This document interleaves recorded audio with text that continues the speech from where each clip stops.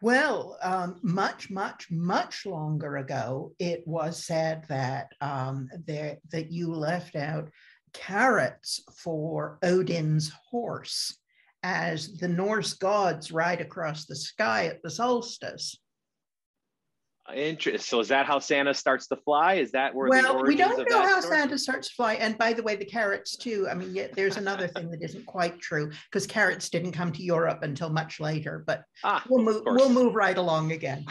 um, we don't know why Santa starts to fly and who invented that. In um, 1840, there's a children's book, an American children's book and for the first time, Santa is on the roof and sort of so he's going to go down the chimney the way we uh-huh. know it.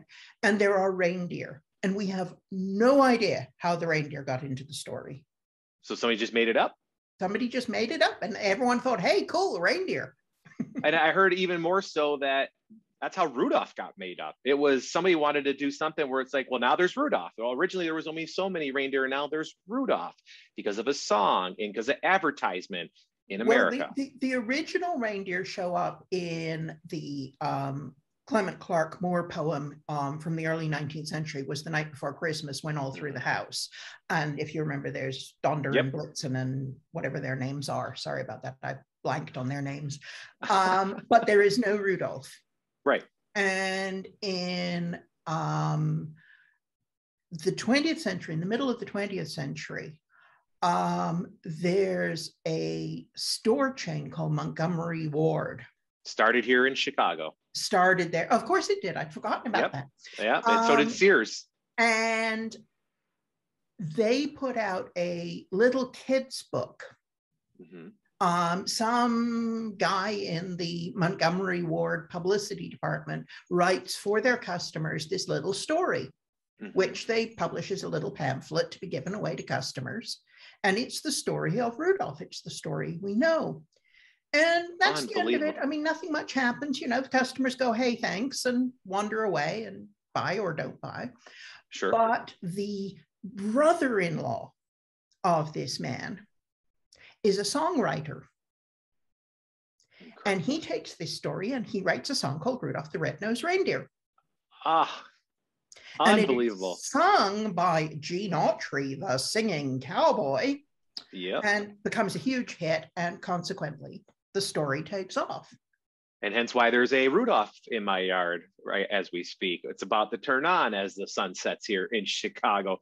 Incredible stories. I mean, uh, it's just so mesmerizing how much we think is tradition and customary is just hundreds of stories that have kind of morphed into this time of year. Like why do you think it happened that way where it's the time you know it's the end of year is it celebrating and then people wanting more to celebrate than just that? Because now you know then somehow the catholic church gets involved and it becomes this big religious thing at least for catholics because i can speak from that point of view where you know you have midnight mass and you have all this like when did that become when did the religion aspect come hold? Well the religion aspect is there the whole time but mostly people think it's an excuse for eating and drinking. The church is always trying to keep up. So what the church is doing is it takes on the elements and incorporates them uh, I'm not saying this cynically. Um, it, no, I understand. It, it, it's a perfectly valid thing. But for instance,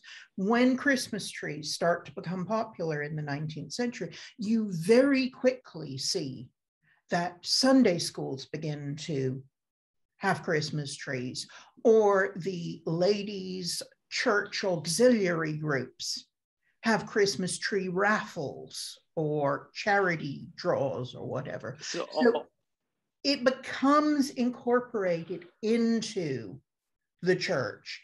Almost and adapting. Yeah. Just adapting. You have this fascinating thing because um, Christmas carols are a very, very, very late thing. They don't happen until really the 19th century outside of mm-hmm. Germany.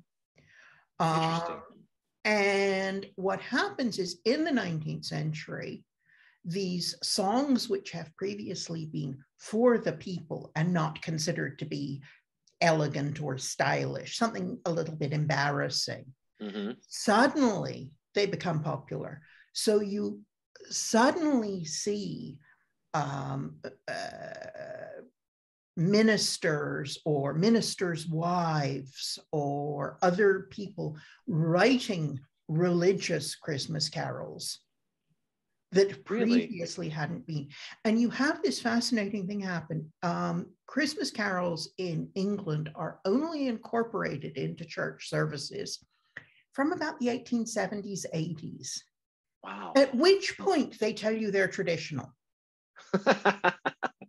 and oh there's a um, carol service that's given at, Cam- at Cambridge University every year, at King's College, Cambridge every year mm-hmm. which is in England very famous. It's broadcast on the BBC. It only starts at the beginning of the 20th century. Incredible. I think it was six years, I think it was six years after the first broadcast, the first um, concert. It had been broadcast on the BBC. The BBC is publicizing it by telling you it had been performed for 500 years just eh, 500 years. Sounds well, right. It was when the chapel was built. Oh, so, so they say we've been, you know, they've been singing it as long as the chapel's been there. Well, and yeah, either that or six years. Five years, 600, there's not much oh difference. my gosh. I, I think the thing I like the best in England, um, they serve um, Christmas pudding, mm-hmm. uh, which is this incredibly dense ball of stuff with mm-hmm. dried fruit and a lot of booze in it. Yeah. And I think it's kind of disgusting. Okay. And I found be, before there was there, there was Christmas pudding, it was called plum pudding. And before it was called plum pudding, it was called plum soup. And it was liquid. Oof. It was kind of a broth.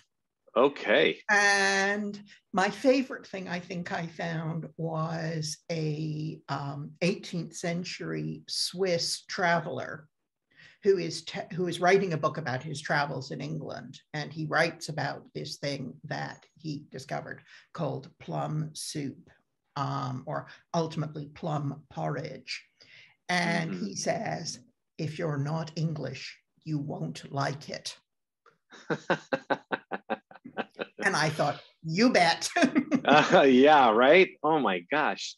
Um, it, and again, looking at the grand scope of things, um, what do you feel like? I, so there's, you know, Charles Dickens wrote about what he wrote about, and that perpetuated Christmas to another level. And then, you know, there's the Rudolph song that brought it to this other level. And then movies in the 50s, 60s, in the 80s. There's, you know, like what what culture do you think has put Christmas from here and put it up here? Is it collective? Is it English, Americanized? Like, what what, what have you just seen, uh, in your opinion, that has really catapulted it?